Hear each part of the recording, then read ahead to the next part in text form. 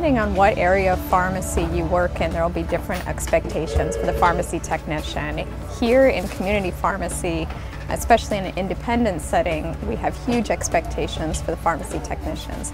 They are in essence the pharmacist's right hand and um, they help guide us through every step of the process of making sure somebody gets medication and that it's correct. In this independent setting, the technicians are um, responsible for not just filling medications and data entry, but they also have the opportunity to look at third-party reimbursements and correct pricing.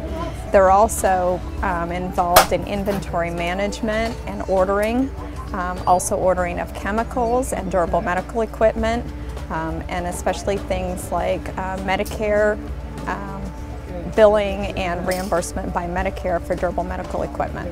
In this independent community setting, the technicians have wonderful opportunities not only to advance themselves in many aspects of pharmacy practice, but the rewards that they get both from their customers and from the things that they do on a on a daily basis is wonderful.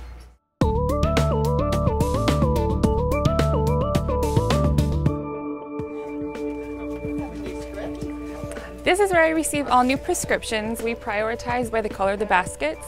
White baskets are for you know people who are not necessarily waiting, coming back later, maybe things we're just putting on hold, um, but that's where these are. If I receive a red basket, that means somebody is waiting. So I always take a red basket first.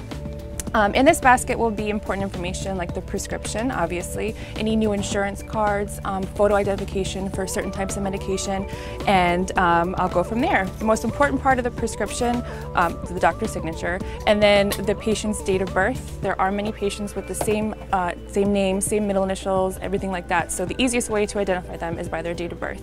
So that's where I'll start off. So I've entered the patient's date of birth, which has pulled up their name and their entire profile.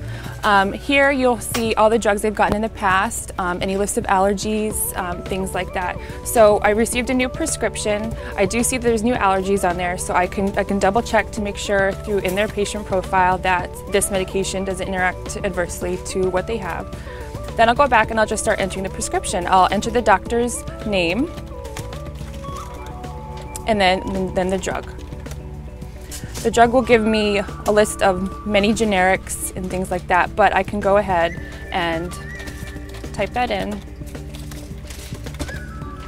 Type the quantity, type the directions, make sure I'm choosing the correct NDC. A lot of times there are NDC, um, certain, many generics for one brand. Um, some patients prefer certain NDCs, so I'm gonna double check to make sure this is the only one we have for this drug, so I'm gonna choose that one.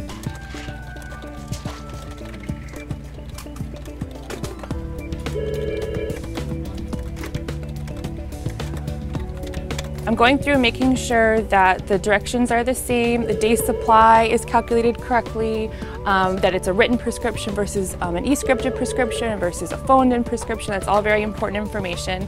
Um, the day the prescription was written will also be very important as far as expiration of the prescription if there are um, refills.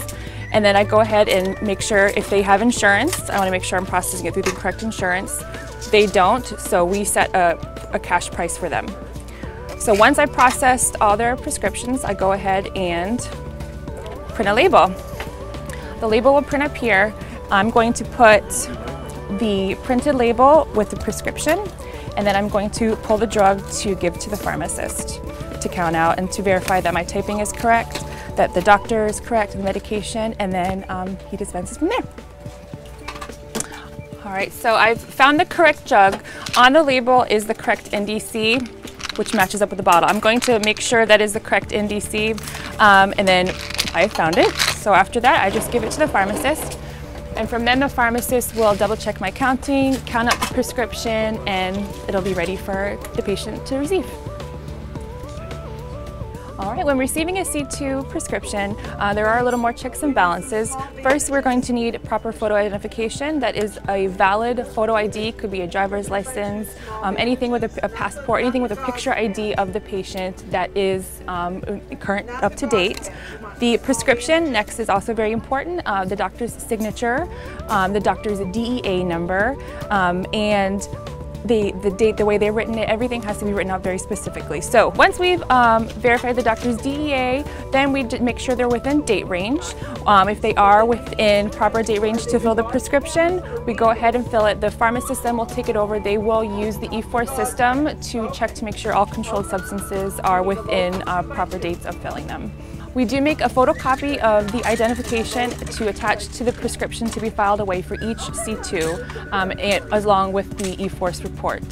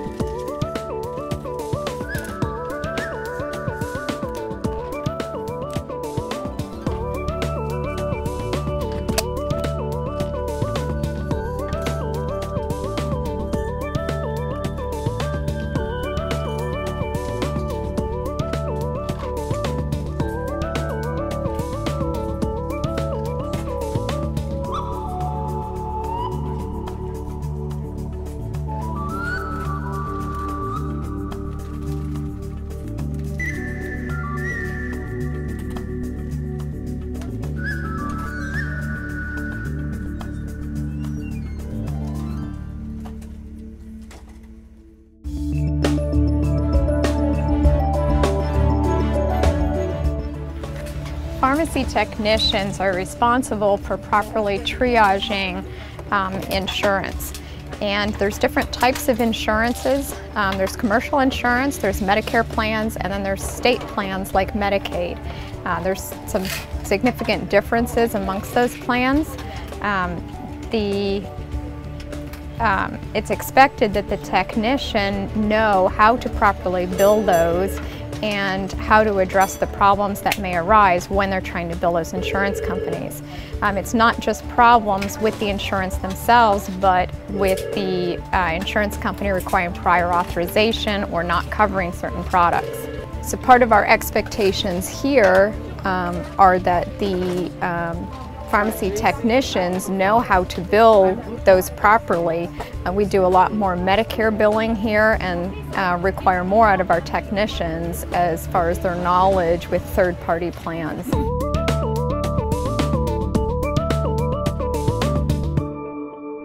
In community pharmacy, uh, some of the technicians' duties may include compounding.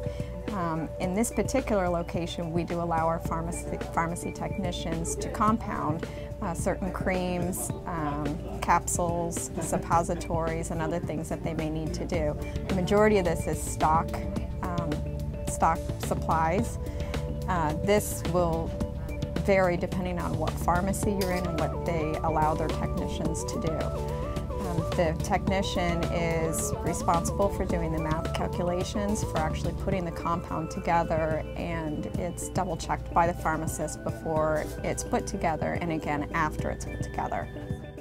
Today we're going to make Piroxicam capsules and first we're going to start off with all our supplies. So I'm going to grab some gloves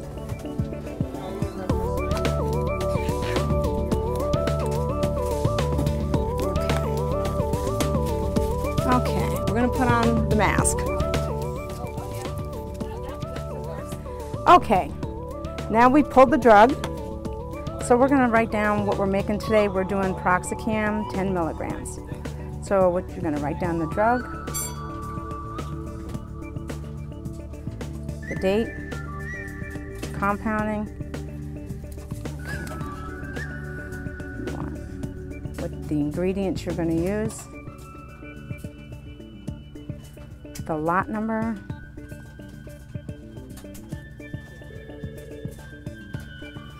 Expiration. manufacturer.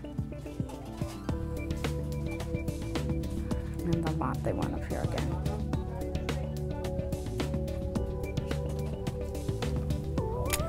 Okay, all right, we're gonna go ahead and do the calculation.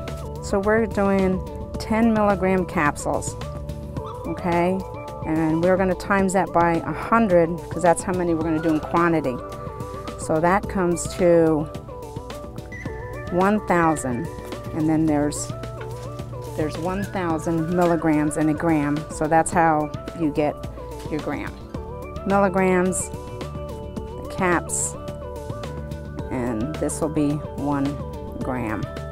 This is milligrams, what it totaled, and then it'll equal out to one gram.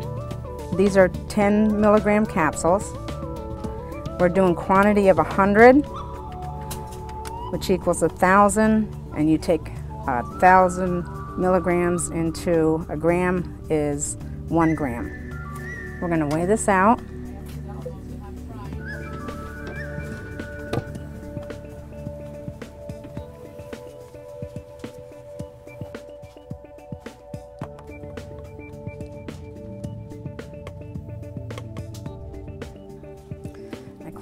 Sides because sometimes there's air when people walk back and forth. You want to make sure you get the right calculation. Very touchy. Let's see how that works. There you go. Okay, I'm going to pull the rest of the drugs that we're going to use, which is lactose. Okay, so these are all my drugs. Um, next, we're going to set up the capsule machine itself. So we're going to use, these are number one capsules. We're going to load up the machine.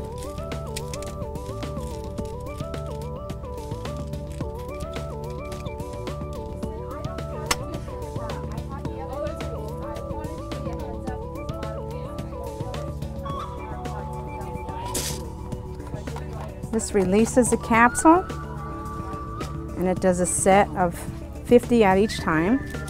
You just want to push these down. Put this back on. And push it forward so you get the other 50 in there.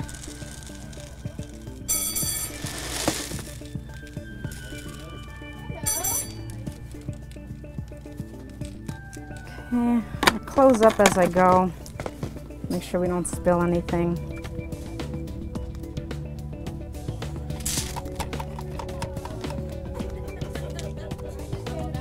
Okay, this comes off. Some of them turn upside down. It's got to turn right way. Okay. Cover on. You want to tighten the top. Going to seal this up. Okay, I'm gonna put the capsules back down here. Okay, we're gonna take this apart. We're gonna release this. I'll drop the capsules down.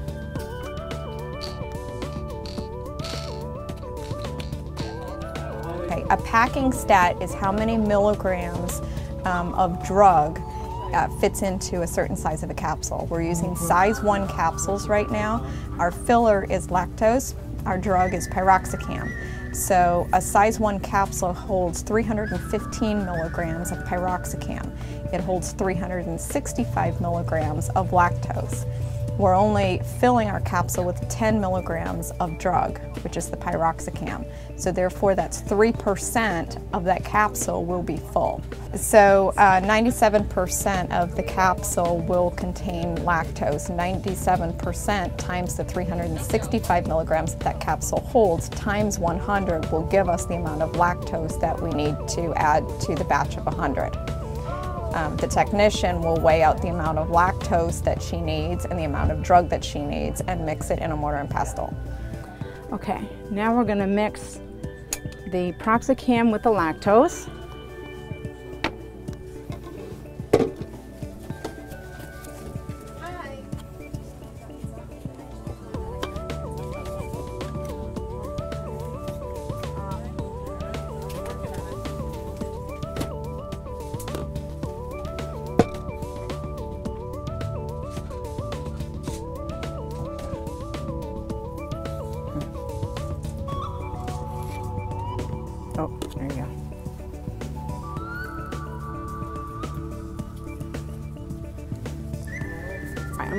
Pharmacist.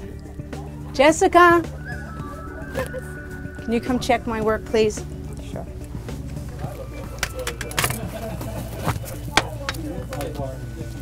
I check the technician's work to make sure the calculations are correct and that she's using the proper equipment and has everything set up. I'll do another check after she's completed this. Um, usually the technician and I will have a discussion during the time that I'm checking to go over the process of compounding the medication.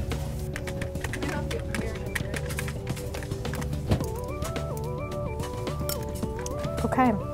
Um, you, you're making 100 capsules, so add some of the lactose, then your drug, and the remaining part of the lactose. Mix it until it's uniform, and then you can um, make your capsules. Okay, and then just call me when you're done. Okay. It. All right. Okay, all right, we're gonna put a little bit of the lactose in. And the drug.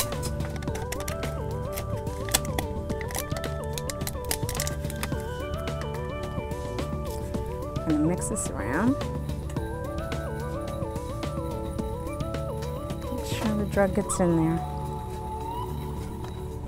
Okay, and we're gonna add the rest of the lactose. Try to do equal parts. Okay, and the rest of the lactose.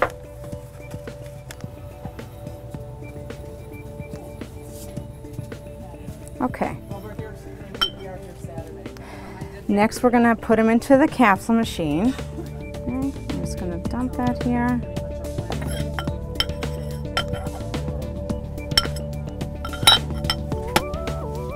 And we're gonna start putting them into the capsules.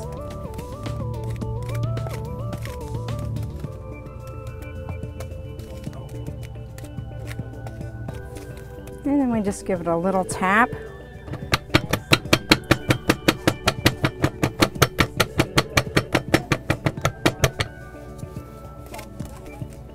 You take this little tool. This is just to push down the drug so we can get the remainder inside the capsules.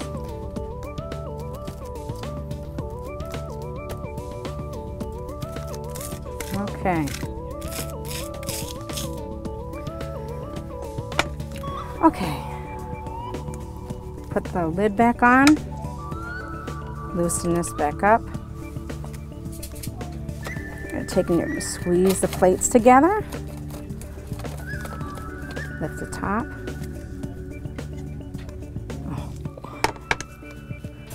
And we're gonna seal them. This pushes the capsules together.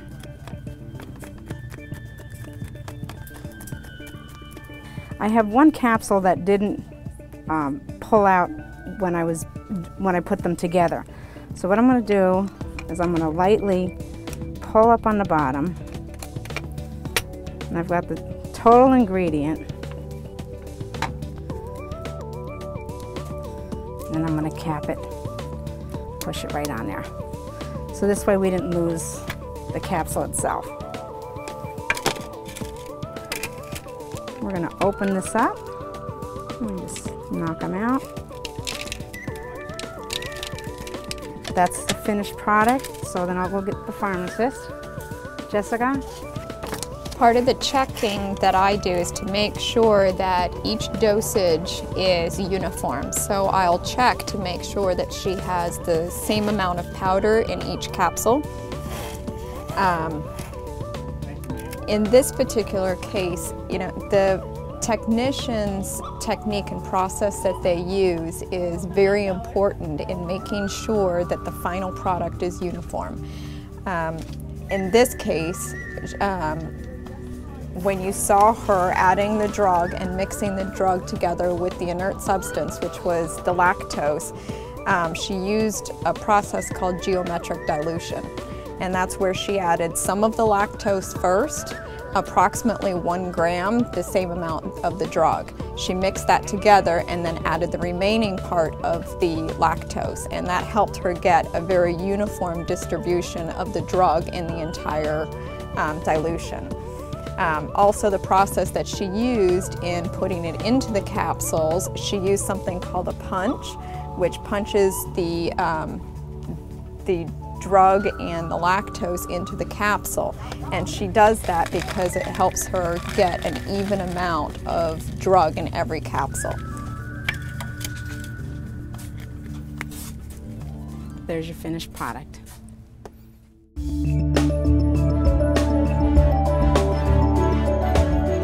When inputting nursing home prescriptions, they're the same as typing on a regular prescription, except that you need times and what the medication is for um, and how they're taking it, such as orally, um, via G-tube, and once or twice a day. So in this instance, I'm typing, um, filling a prescription for potassium, and it's by mouth twice a day as needed for a supplement.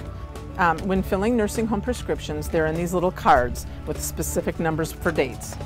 We put one in each spot, so when they get to the nursing facility, they can just pop it out.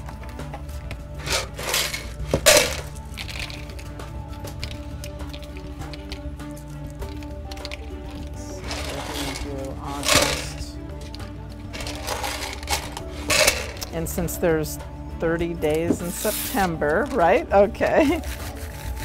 So we will only fill up to the 30. And then our labels go on.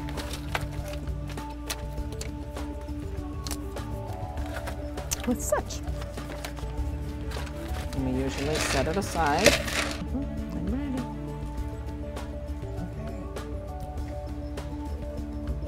After the um, process of packaging and the pharmacist checking our work, we separate, we keep these separate from the um, regular customers.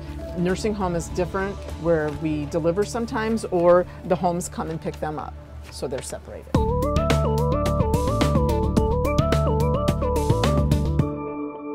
I'd like to explain how we do our ordering for our stock up front.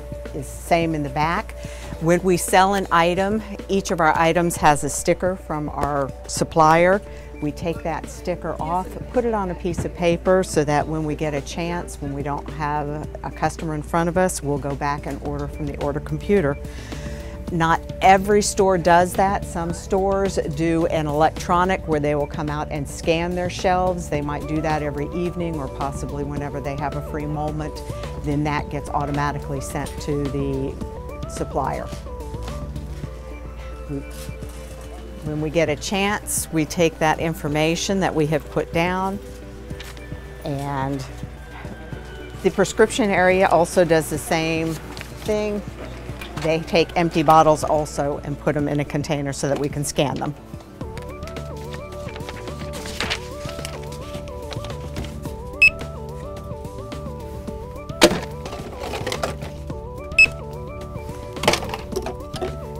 We do this periodically through the day so that the pharmacist has a clear workspace.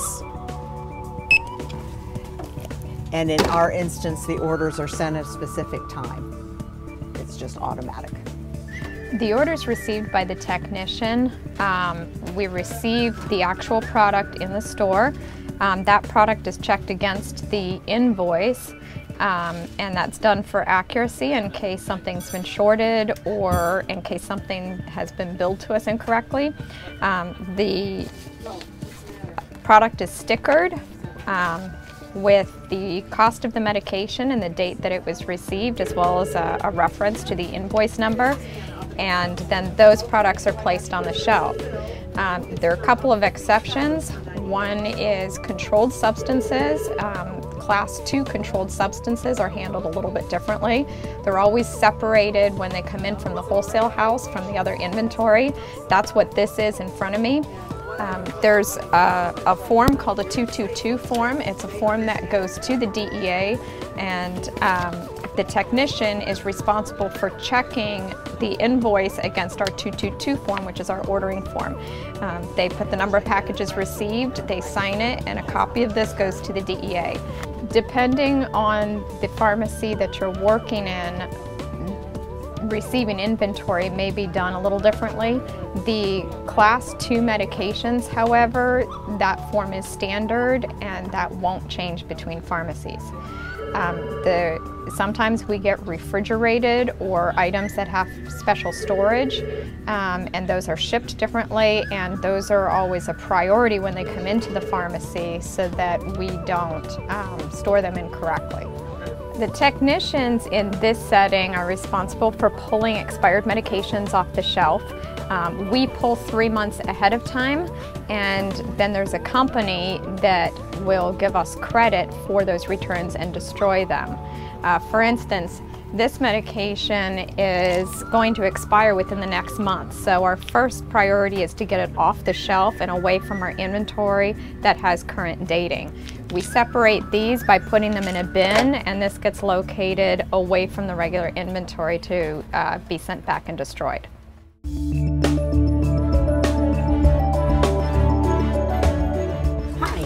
Help you? Yeah, um, I was looking at my mom's prescriptions and stuff, and I noticed that there's a couple things wrong on here. Okay. You got the doctors wrong, and I'm not happy.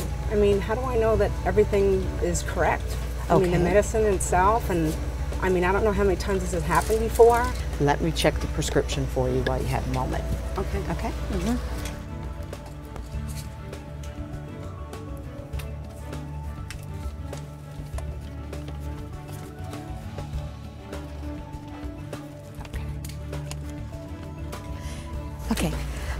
I've got the prescription here for you. Evidently, the physician's assistant was in and signed the order for you, so that's the physician's assistant for the doctor.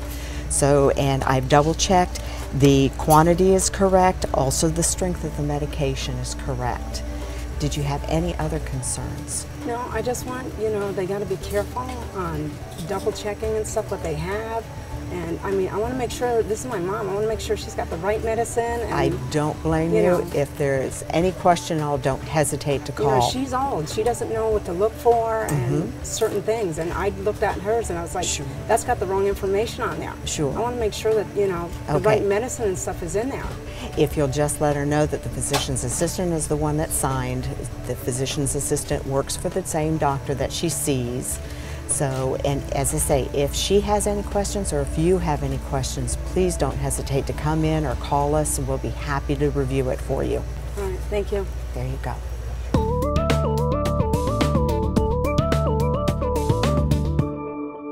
Good morning. Hi. Have you been with us before? No, first time. Okay.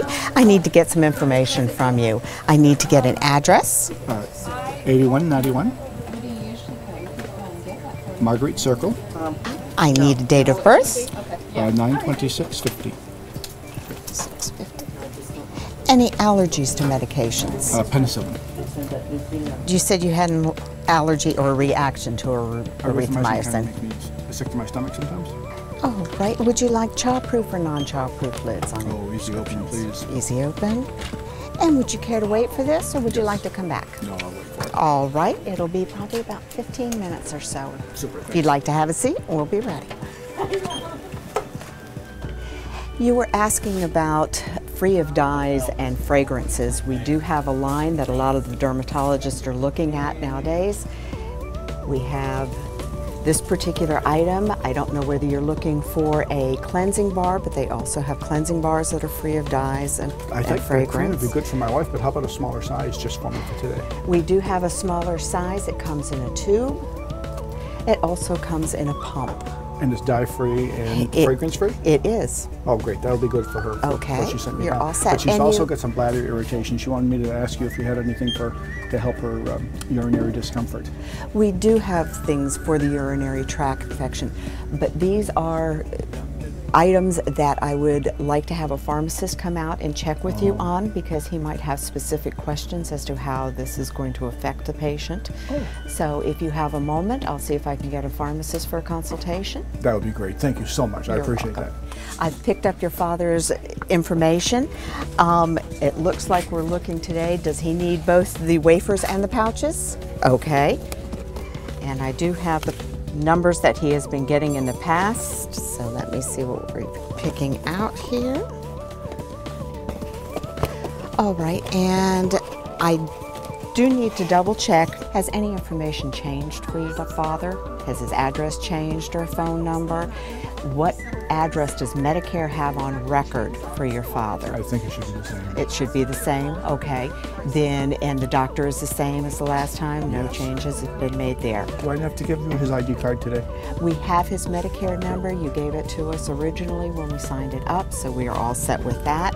And we do have a refill for now. We will need to get a refill from the doctor the next time that he comes in. So if he's going to be seeing the doctor, if you could bring that in with us Okay, with we'll you that. when you come. And I will have you, I'll fill out the paperwork, have you sign it. We do need to run it through the system so that it can be sent on to Medicare so that any reimbursement will come to you. Oh, thank you so much. We've got your prescriptions ready for you. I've gone ahead and scanned you out, and but I need to get from you, since it's the first time you've been with us, for the HIPAA information, I need your signature. Okay, and what I need you to do to do is sign right here for the HIPAA information. And after that, if you'll hit done, and then I'll also need your signature that you've picked up your prescriptions. Okay, you're all set. I have HIPAA policy, and I'll give you that since it is the first time you've been with us. If you have any questions at all, this is that we do not sell your signature or anything to you. You're more than welcome to look at it, and if you have any questions, please don't hesitate to give us a call. Do you have any questions for the pharmacist? All right. If you have any questions at all, please give us a call, and I hope you have a good day. Super. Thank you.